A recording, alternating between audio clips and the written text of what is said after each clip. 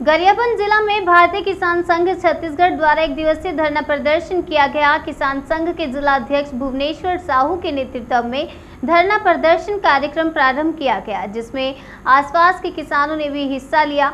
न्यूनतम समर्थन मूल्य तय होने के बावजूद मंडियों में किसानों की उपज उससे कम मूल्य में बिकती है। कृषि सामानों में लगातार बढ़ोतरी हो रही है, किंतु न्यूनतम समर्थन मूल्य बहुत कम है। उद्योग चलाने वाले सभी तो फल फूल रहे हैं, संपन्न हो रहे हैं, लेकिन स्वयं किसान कर्जदार व गरीब होता जा रहा है।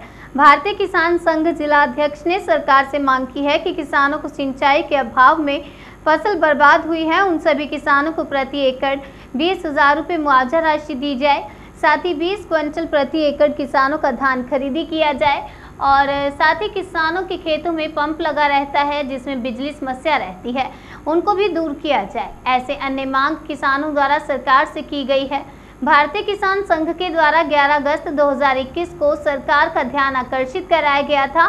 फिर भी सरकार द्वारा कोई जवाब नहीं आने के कारण गांधी मैदान में सभी किसान द्वारा धरना प्रदर्शन कर एसडीएम कार्यालय पहुंचकर प्रधानमंत्री और मुख्यमंत्री का नाम एसडीएम को ज्ञापन सौंप कर गया गया। अगर मांग पूरी नहीं होती है तो आगे उग्र आंदोलन करने की भी बात कही गई।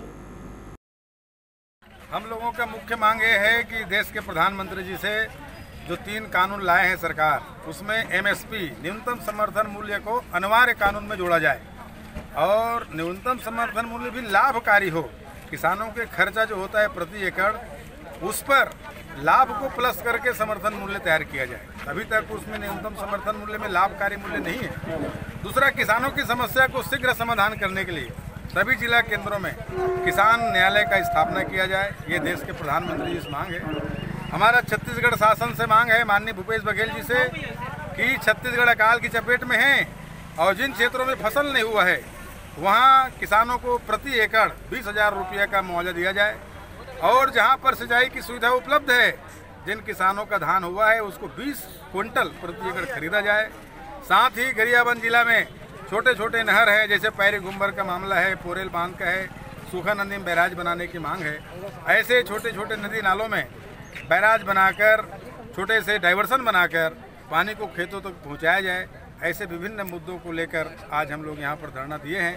साथ ही गरियाबंद जिला में एक बाहर के व्यापारी के द्वारा किसानों का धान खरीदा गया है और करोड़ों रुपया का धान खरीद कर वो चंपत हो गया है। किसान भटक रहे हैं। जिनकी शिकायत कलेक्टर में हुई है, एसपी में हुई है, लेकिन किसानों को अभी तक वो पैसा नहीं मिला है। वो तत्काल दिलाया जाए। बिजली कटौती का भयंकर मामला चल रहा है। किसान का खेत सूख रहा है। बिजली कटौती भी बंद हो। ऐसे मांगों के साथ आज हम लोग जिला भर के किसान इकट्ठा आए थे और हम लोग अभी ज्ञापन सौंपने जा रहे हैं। आगे क्या रणनीति अब ये मांग पूरा नहीं होने पर आठ पंद्रह दिन के बाद में प्रदेश स्तर में कोई रणनीति तय होगी और आंदोलन को हम लोग तेज करेंगे। आपका पद नाम? भुवनेश्वर साहू भारतीय किसान संघ का जिला।